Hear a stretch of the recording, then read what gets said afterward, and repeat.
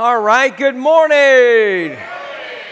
So, someone told me you guys were the most exciting group of all three services. Is that true? I don't know. I don't know.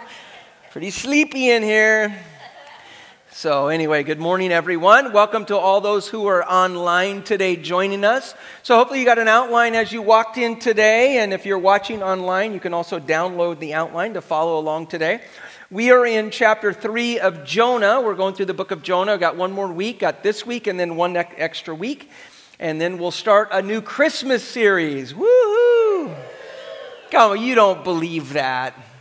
You are not excited about Christmas. Come on now. They just put away the Halloween stuff at the store, and then it's crazy, isn't it?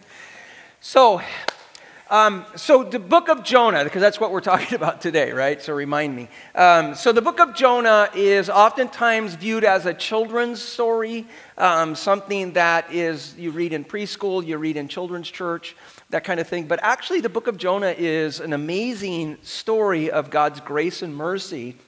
But also, it's a challenging book for people to take their next step in their spiritual journey. And uh, you've heard me say before, I believe that as believers in Christ, God is always calling us to take that next step in our spiritual journey. And God was calling Jonah to take a next step, and he went the other direction. Um, but for us, God is always calling us to take that next step. And, and so we've looked at, we're looking at the book of Jonah from a spiritual growth perspective of really kind of challenging ourselves to make sure that we're growing spiritually and that we are taking that spiritual next step in our journey. And so today, as we kind of walk through it, we're going to talk about that. We'll talk about the challenges and whatnot that we need to take, all right? So, uh, if you will, if you have your outlines or if you have your Bibles, you could follow along. If our computer doesn't crash, we're going to have it up on the screen. We're having some technical issues today. Um, so in chapter 1, we looked at this in week 1. The word of the Lord in chapter 1, verse 1, the word of the Lord came to Jonah, okay? And God told Jonah, I want you to go to Nineveh to preach. Okay? Now, he didn't like the people in Nineveh. They were, eh, they were enemies of Israel, and so Nineveh was part of, was the capital city of the Assyrian nation. They were brutal people. Um, they, when they had wars, they didn't care if you were a child, if you were a lady, doesn't, it doesn't matter. They were brutal. And so they would, um, they would kill them, they would kill children, they would kill adults, they, it didn't matter. Oftentimes, at the end of the war, they would take the men that they captured and they would skin them alive right? And then they would place them under uh, in the sand and they would bury them up to about their neck or their shoulders, right? They would take a nail and they would drive it through the bottom of their, uh, through their tongue into the bottom of their jaw and they would just leave them like that. And then what I've been telling you the last couple weeks, I realized that I was wrong. I, I told you that after they would do that, then they would force them to listen to Britney Spears music and I was wrong, and I apologize. It actually was Madonna, because she's old enough to be around, all right? So I made a comment about that. I said, well, maybe next week I'll talk to, say, Johnny Cash. And there was a bunch of people going, ooh, like that. So it's like, okay, we won't go with Johnny Cash, all right? Elvis or something. I don't know. Pick, pick a person. So in chapter one, uh, Jonah decides, and we have a little screen here, up a, a, map on the screen here, and I got my little handy dandy pointer. And so here he is, he's going to set sail in the Joppa area. And so God had called him to go to Nineveh, so short distance away. He could have jumped on a camel, not a problem, got up there, preached in Nineveh. He chooses not to. So the word of the Lord comes to him go to Nineveh. He's like, nah, I'm good, God. So he jumps on a, a, a boat in Joppa and begins to set sail over to Tarshish, which would be modern day Spain. And it's about 1,200 miles away. Some commentary guys think that it would be somewhere around a year for him to get there. So he jumps on the boat, and God says, You know what? I'm going to send a storm into your life. And so he sends a storm into Jonah's life, and as, as a result of Jonah being disobedient, it affects everyone on the ship right? And, and, so the, the captain comes to Jonah and says, Hey, you need to pray to your God to have this thing stopped. And Jonah's like, nah, I'm good. I'm just going to keep doing it. And so he doesn't pray. The sailors come in and is like, What have you done? We're going to draw straws and figure out what's going on. And so it comes to it's Jonah's fault. Jonah says, Hey, just throw me overboard and the storm will stop. Uh, will stop. Right? And, and, and so the guys are like, Well, we can't do that. They actually had more grace and mercy than, than, than others. And so they don't throw them over, they start throwing things overboard to save the ship. The storm continues to rage. It feels like it's busting up the ship. And so finally they get to a point and they say, Jonah, we're sorry. God forgive us. And they grabbed him by the arm and the leg and they did a one, two, and then he did a great big old back flip, flip belly flop. And he landed in the water. And in the end of chapter one says, And God provided a fish to swallow him up. And so last week we looked, he lived in that belly of the fish for three days and three nights. All right? And so at the end of chapter three, he gets coughed out. He is a big old pus ball with no hair. and if you missed last week's message, you need to hear just that part because that was the only part that was any good. Right, guys?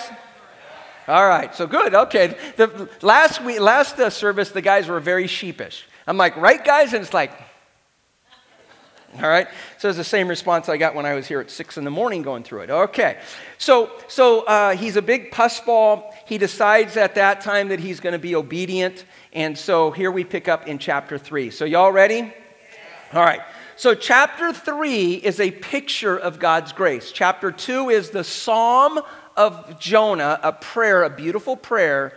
Chapter 3 is about God's grace all right, and how it relates into our life as well, all right? So it says in verse 1 when the word of the Lord came to Jonah, a, what's the two words? A second time.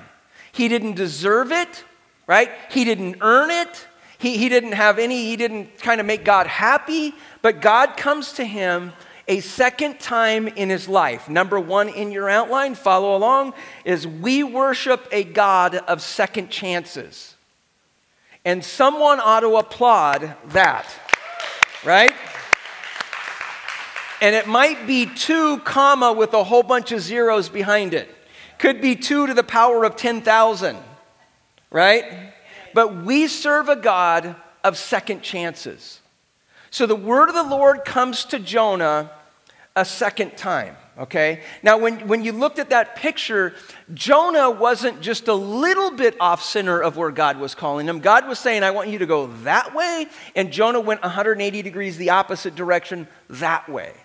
Oftentimes in our life as believers, God calls us to do something. And we're going to talk about that today. And He gives us that impression, He gives us the guidance in our life. And, we're not 180 degrees off the op, uh, uh, of the direction of God. Sometimes we're just 20% off or 30% off of the direction of what God is calling us to do. Right? So in this case, Jonah, he is 180 degrees off of the direction of what God is calling him. And yet, still, the word of the Lord comes to Jonah a second time. And in your outline in, uh, from last week, chapter 2, verse 9, Jonah makes this commitment in the belly of the fish, right? He says, What I have vowed, I will make good. Now, we don't know all the things that it was because the prayer is just a very small port, uh, part of the three days that he spent in the belly of the whale. But I'm sure that he made a lot of deals with God right? I'm sure that he spent a lot of time, and maybe there's not enough pages in the Bible to document all of the prayers that he had or all the commitments that he made to God.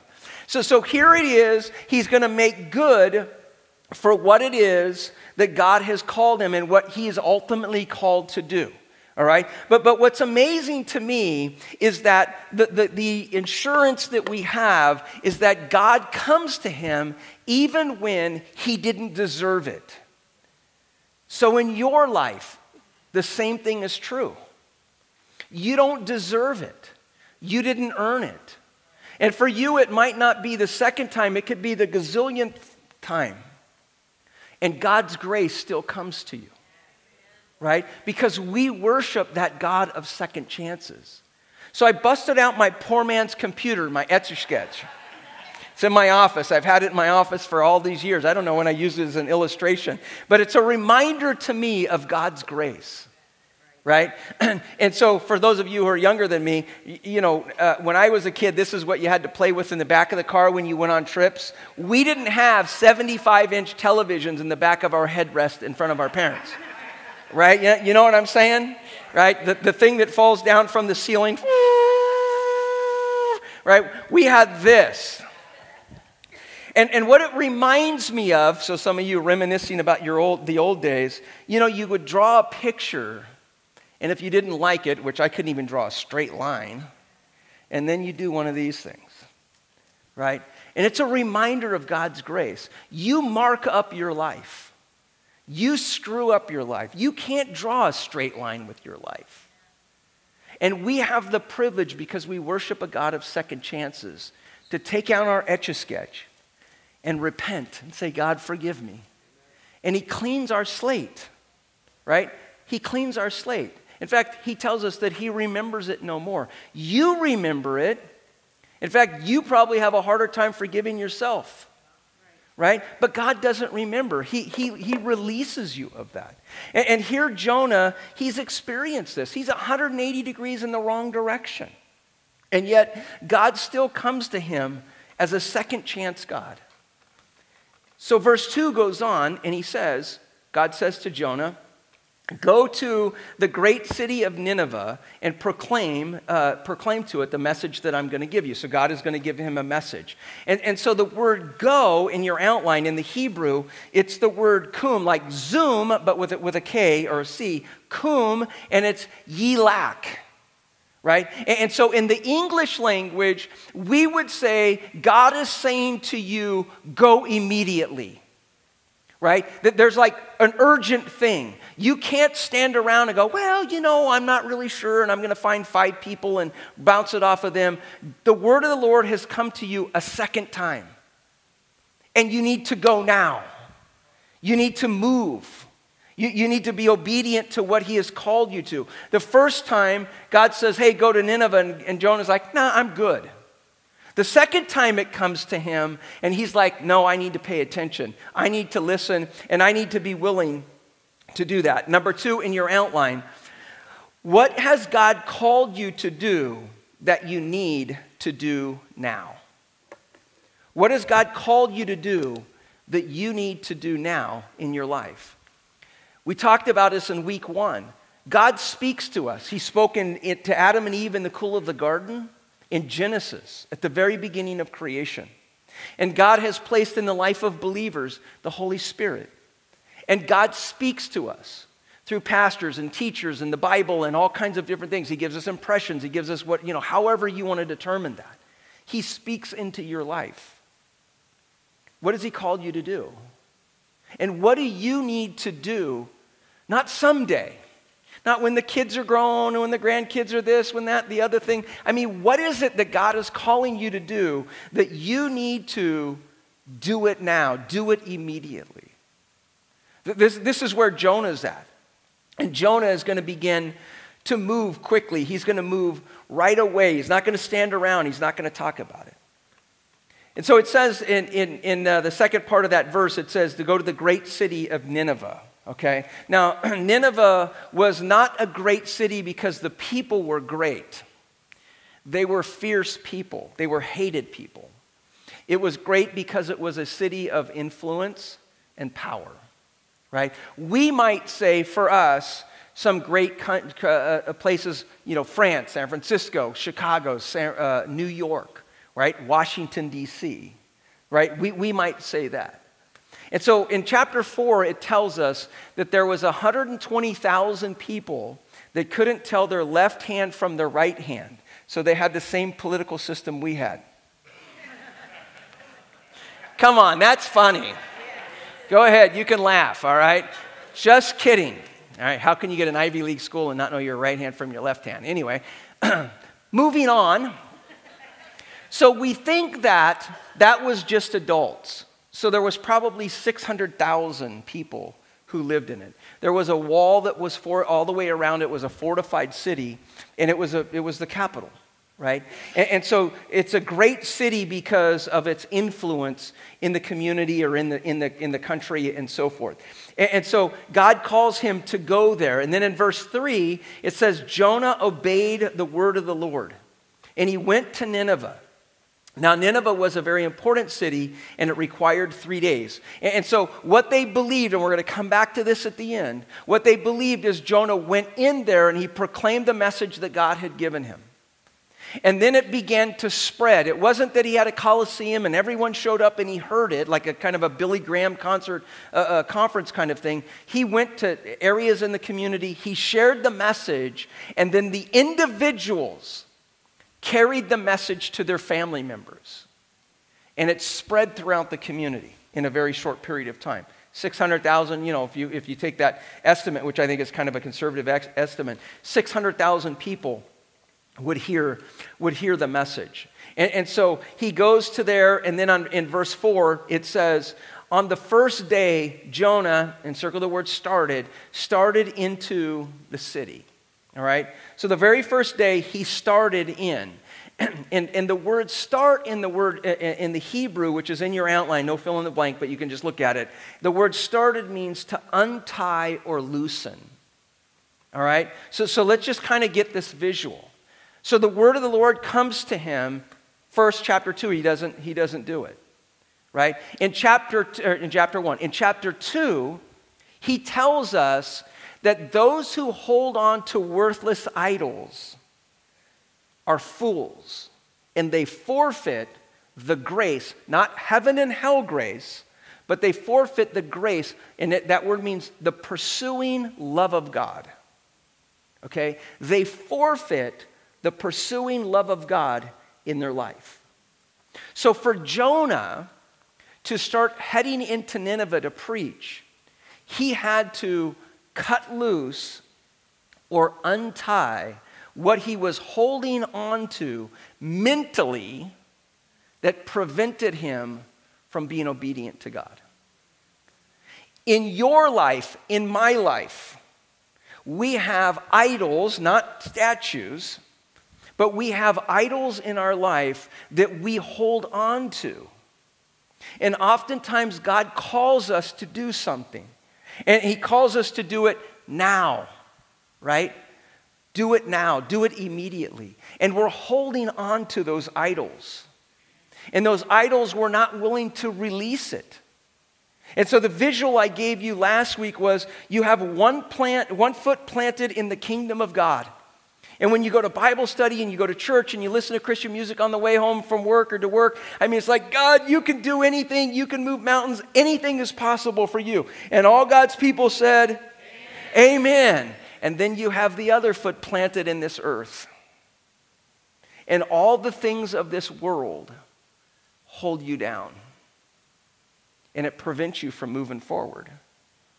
And in Jonah's life, we know that it was prejudiced against the Ninevites. He didn't like them, he wanted God to destroy them. And the second thing is his self. God said, Hey, Jonah, I want you to go. And, and Jonah basically said to God, similar to what we say, Thanks for the uh, invite, God. I'm not interested. And so we just kind of come back as we're looking at Jonah through the, the, the eyes or the prism of spiritual growth. What is God calling you to do? That you need to do now? And what is it that's holding you back that you need to release? Maybe it's security from a job that you think you have, right? And I always like to say, hey, your job is not your provider, God is your provider. Right? Maybe it's oftentimes we're, we're surrounded with unbelievers in our family. Maybe you're the only believer, you're the strong believer in the family. And you sense God calling you to do something. And, and, and you're, you're, you're reluctant to say anything because you don't want to be considered kind of, you know, a religious nut job. You know, I can remember my dad when I'm like, hey, I feel called to the ministry. He goes, how are you going to take care of your family? Right? I mean, it was like right out of his mouth. Do you believe God is your provider? Right? And, and so we hold on to relationships.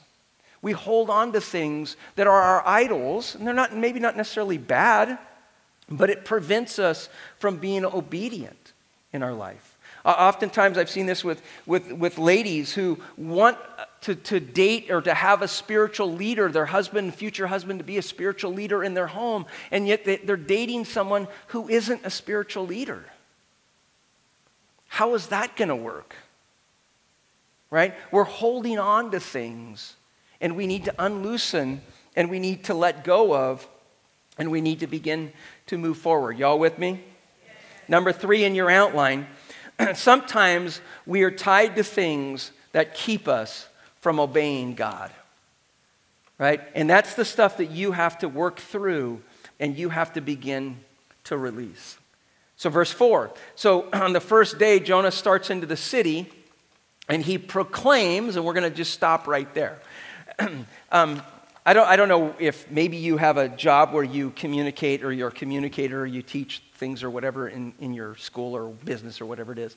And, and so for me, not so much on Sunday, although I do a little bit, but, but uh, if I'm going to go speak to a different group of people, I always like to try to put myself in and kind of get into their mindset and figure out who they are and what their interests are and all that kind of stuff to communicate to bring Jesus into their, into their life, right?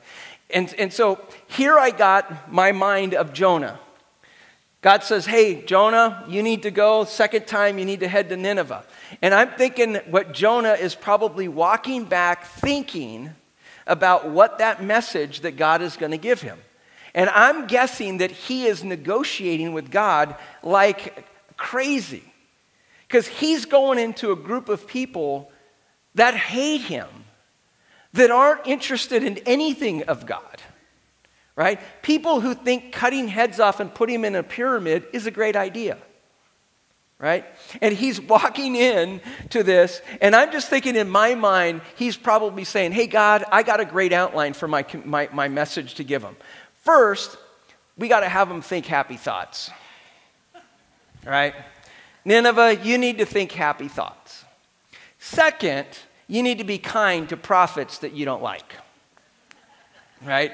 And third, you got to give me a chance to get out of town before you kill me, right?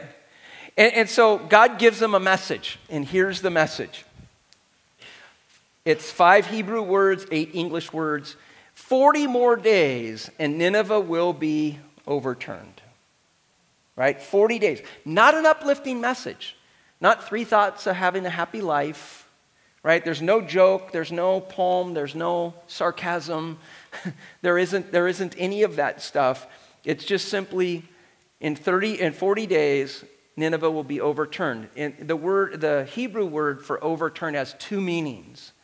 And the first one is it, it can mean overturned or destroyed, or it can mean overturned and changed. So the message that they would have heard is you have 40 days, and either it's going to be overturned and destroyed, or it's going to be overturned and it's going to be changed. Right? And so you could imagine how that message would be received. Number four in your outline that we serve a merciful God, and God's mercy is a limited time offer right? God's mercy is a limited time offer. And, and, I like to say that God's mercy is offered to us for as long as we're alive. God's mercy pursues us, His grace is available to us, but the clock is ticking. And this is the message that they got. Not someday, 40 days. Right? And, and you could imagine that 60 minute talk, click, you know, timer that on the old 60 minute shows, click, click, right, as they hear the message, right? Time, time is escaping, and so they have to do something. Verse 5 Nineveh believed God. And we'll just, we'll just stop right there. Nineveh doesn't believe Jonah, Nineveh believes God. So, so here's my prayer, and this has been my prayer for like 20 years. Every time I come out onto the stage, I've, I pray a simple prayer. The guys have all kinds of different prayers. Mine's pretty simple. It's God, I want my people to see me and hear you. Right? And then I have a visual, because I'm a visual learner, I have a visual of some kind of conduit pipe from heaven coming down and planted in the top of my cranium. Right? So here it is. Sorry, folks, this is all I have to offer. But my prayer is that you hear God. You don't, don't believe me, right? Believe God. Nineveh believed God. And so, what would that look like? Well, for the first readers to hear Nineveh believed, they, the first response would have been, There is no way. So imagine this if we were to bring it into our culture. Imagine you woke up this morning, y'all are awake, right? You woke up this morning, however you get your news computer, you know, email, whatever it is, newspaper, whatever it is. You open it up, and there in big bold letters it says, Hollywood has repented, and they all follow Jesus. That's the response that they would have thought. What if they said this, right? You open up your, your, your computer and you go to your news feed and it says, All of Las Vegas Strip has been surrendered to Jesus and now it's houses of worship. Right? Or, what if you turned on your channel, the news channel, and it said, Washington, D.C. has experienced a revival, and all of them have given their heart. Never mind. Yeah. How would you, exp- I mean, what would your thought be for that to take place? Right? So, so, this is what it would be for people who are reading about the Ninevites that they all believe God. Their response would have been laughter. They wouldn't have believed it. It would have been too difficult uh, for, them, for them to believe. So it says, Nineveh believed God, and the verse goes on, and it says, and they declared a fast, and we'll get into that in, in a moment. And all of them, from the greatest to the least, put on sackcloth. Okay, a fast in the Old Testament was a symbol of humility and repentance. Okay, so if you were going to fast in the Old Testament, it was a sign that you were going to, there, there, you were taking a position of submission to God. You were surrendering to God. You were confessing the, the issues that you have. And then it says they put on sackcloth um, clothing. Sackcloth clothing, I did a little bit of research, is made from goat hair. Okay? Now, I was going to bring my goat hair jacket out, but I couldn't find it in my closet. Right? I have a cool one. And so I, I couldn't find it. And, and so, but my understanding is, I don't have one. But my understanding is, is the goat hair is really wiry. So they, they described it as putting on an old potato sack old burlap. I have burlap in my garage that I put over my oranges when it freezes. So you could imagine putting on your burlap jacket and wearing it. So for me, maybe you had the same mom as I had. My mom, when I was in elementary school, washed our, uh, her curtains, her, her drapes, that were made of spun glass. She washed them in the wash machine and then put in all of our bo- all the boys' underwear in the next load. Right? We weren't laughing. Right? So we're both, my brother and I are both in the nurse's office at school. You know, we're doing this. My dad calls my mom. He's like, What on earth did you do? She's like, I, I washed the clothes and I put, he's like, You got to throw all that stuff away. Right? So you could imagine how uncomfortable it would be. So they all sport, they all put the, the, this, uh, this uh, clothing on, the sackcloth clothing. Verse 6 goes on. It says, When the news reached the king of Nineveh, he rose from his throne, he took off his robe, covered himself with sackcloth. So he's going to do the same thing and set in the dust. For a king to do that, it was surrendering his power because we don't have royalty in our, in our nation. But for them, the, the, the chair, the throne, was a position of power. And so, for a king to step away from that was surrendering because the chair represented his kingdom and all of his military might that he has. And so, when he steps away from it, that was a surrendering part. He's submitting and he's surrendering to it. And then it says that he took off the robe. And the robe, you would never see a king without his robe because he didn't want the peasants to think anything less of him. And so he would always have that royalty on because that was a part of his power that he had. And so here he takes it off. And he sits down in, uh, in, in, uh, in, the dust. And verse 7 it says, Then he issued a proclamation to, to the Ninevites, and it says to Nineveh, and it says, By a decree of the king and the nobles, do not let any man or beast, herd, flock, or anything, do not let them eat or drink. Right? So there is a fast that's going to take place in this whole area. Right? Not just with the adults, with the kids, with the animals as well. I, I, I, read one guy, and I don't know if it's true or not, but I thought it was pretty funny, and I added some stuff to it. But he, he says if you have uh, 20 heads of uh, cow, c- cattle, and you don't feed them for one day, that you could hear their mooing for a mile away. Okay? And I added this I said if you have one kid and you don't feed them every five minutes, you can hear them five miles away. Right? Is that true? right? Mom, I'm hungry. So, so anyhow, no, no, no one's eaten anything. Verse 8 uh, Do not let the, the, uh, the men or the beast eat, cover them with sackcloth. And then the verse goes on and it says, Let everyone call urgently to God. Right? And, and just kind of pause for a moment. Because what they're doing is they're praying that God is going to spare them of the destruction. And there's an urgent call for them to pray to their God. I don't know how it looks in your life, but we probably have family members that are far from God. They don't have a personal relationship with Christ. Is there, is there the urgency to call out to God, to intercede on their behalf, to touch their hearts? And I, I don't mean just kind of like, oh, Lord, open their hearts.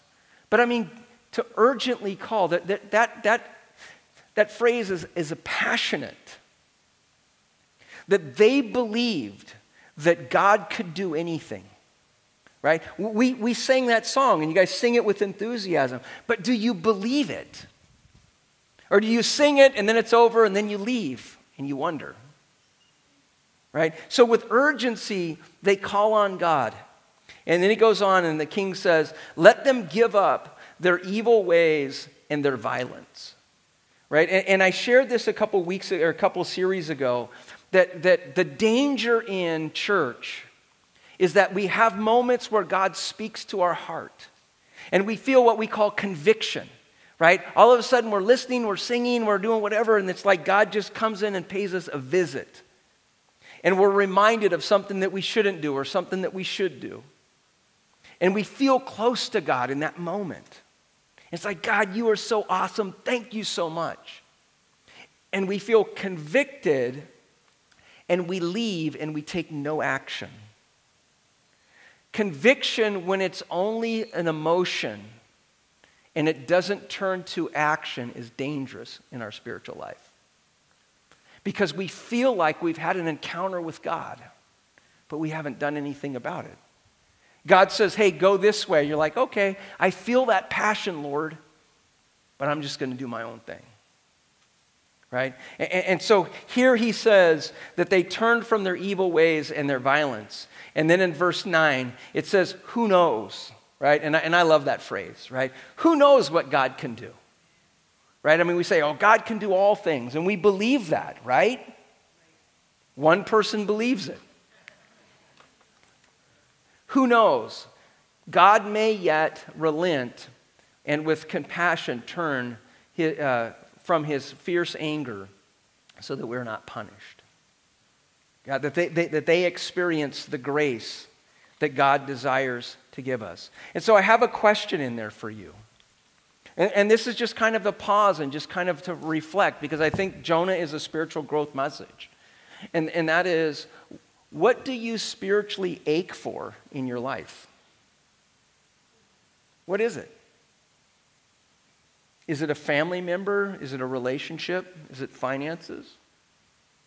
I mean, what is it that can move your spirit to passion, to call on the name of the Lord, who can move the mountains, that can take the hardest of hearts and penetrate, can't he? What is it that you spiritually ache for in your life. Maybe you don't, and maybe that's where you need to start. Right? Maybe, you need to start with that. 40 days, Nineveh is going to be changed or destroyed. Number five in your outline, and here is the good news God shows us his amazing grace. Number five. So God gives them the grace that they needed.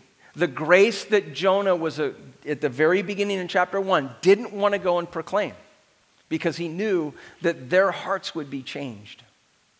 And so here it is, their hearts are changed, and he experiences it. And I don't want to, you know, you guys can go and read chapter four because it's an interesting ending in the, in the story of Jonah. You would think that one of the most fruitful revivals in history, that Jonah would be thrilled.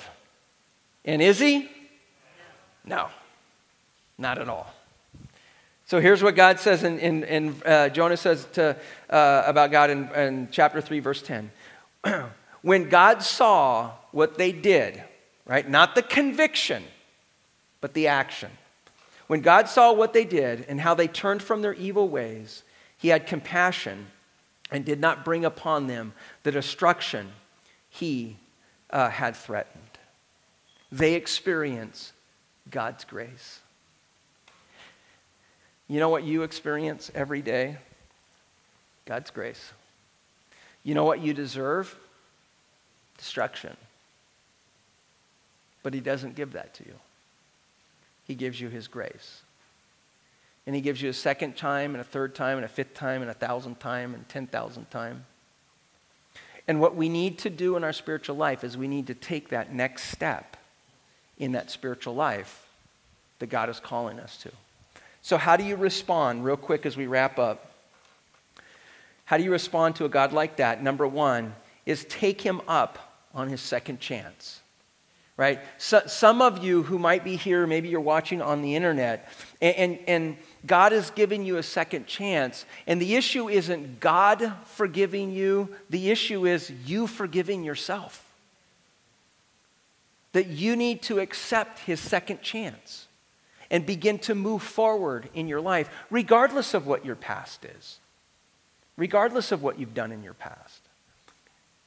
Second, number two, is you got to believe what he says. Do you believe that? Do you believe God's word? Not a lot of yeses. Number three is repent, right? Maybe there's a maybe there's a, a person here that you know God has just laid on your heart that there's some areas of your life that you need to come clean with. And, and again, the good thing is, is we worship a God of second chances and he's quick to forgive, isn't he? Right? And he wants it. He wants to forgive you, he wants to set you free. Number four in your outline is fast. And if you've never fasted before, um, I put together, uh, along with a coach that I had years ago, um, I put together a, a, pamphlet. It's like three pages or six pages or something like that. It's on the way out. And if you're interested in fasting, there's all kinds of different ways of fasting. But you could try it, right? Saying you could do a one day fast, you could do a lunch fast, you could do, do that. But you could, it, it explains biblically what it is and what the purpose is. And so make sure if you're interested, grab a paper on the way out. And then the last one, and it's on the two side tables on the, on the entryway out. and then the last one is spread the good news to others. And I think that, that that was what was so amazing to me in Nineveh, people of 600,000 people. The word spread of God's grace. And you want to know how it spread? Jonah preached, and then people took that message and they went to their family members and they shared with their family members. 40 days, Nineveh will be overturned, destroyed, overturned, changed. And I wonder for us, is there an urgency on our part to share with people that we love that Jesus loves them and he desires a personal relationship with them? Do you have that urgency? You're not responsible for the response. You're only responsible for bringing them the good news. Is that, are you passionate about that? Do you believe that? That Jesus is the way, the truth, and the life? They believed God.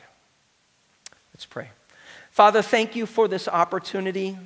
And Lord, as we, as we just prepare our hearts to leave here today, Lord, I don't know what you're calling each of the folks to take their next step spiritually. I'm not sure what it is, Lord, but I pray that you will give them the boldness to take that step.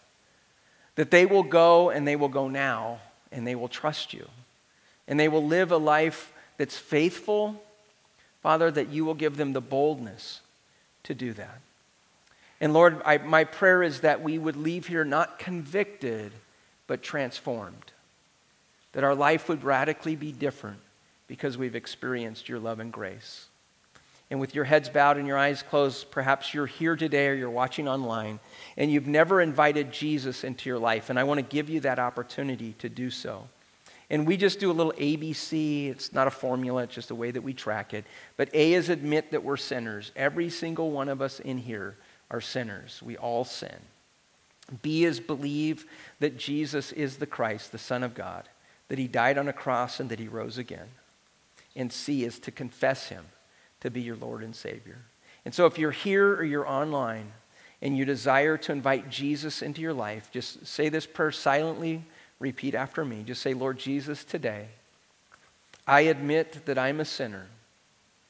And I believe, Jesus, that you are the Christ, the Son of God, that you died on a cross and that you rose again. And today, I confess you to be my Lord and Savior. Thank you for loving me. Thank you for saving me. Thank you, thank you for making me a brand new creation in Christ. It's in Jesus' name I pray. And all God's people said, Amen. Hey, if you prayed that prayer, there's a number to text. If you're online, you can text that number. Uh, we'll get the information. If you're here in person, Pastor Eric mentioned the communication card. You fill out the communication card, and then there's some boxes on the way out. Just put committed my life to Christ. Drop it in the bag so we can get you some information. There's also some green bags on the way out, too, uh, with that same information to help you to grow in your spiritual life. All right? So I'm going to ask you all to stand. Are you alert? Remember, I was bragging on you. I heard that you guys were the best of the three groups. I don't know. You're fading pretty quick. All right. Well, the good news is the other group's outside and we're going to have a fight. So we're going to decide. Might as well. It's church, right? So, so here, here, here it is. All right. God is calling all of you to take a spiritual step in your life. And He's calling you today because I believe that that's, our, our spiritual life is a journey, and we take step after step after step. What is the step that God is calling you to take? And today, will you commit to taking that step? And who knows what God can do in your life? And my prayer is before you hit that first set of doors, that you will have made a commitment, right? Just as Jonah did to be obedient to that next step in your spiritual life. God bless you guys. We will see you on the way out. Wow, what an incredible experience. Remember, we go live every weekend, so be sure to hit subscribe on our channel so you can be notified whenever we upload new content. I also want to invite you to join us in person when you get a chance. Joining us for one of our in-person services is a great way to meet and interact with new people in our Laurel Ridge family. You can find out more about Laurel Ridge and activities for your whole family by visiting our website. We can't wait to see you next time. Until then, have a great week, and remember, God loves you.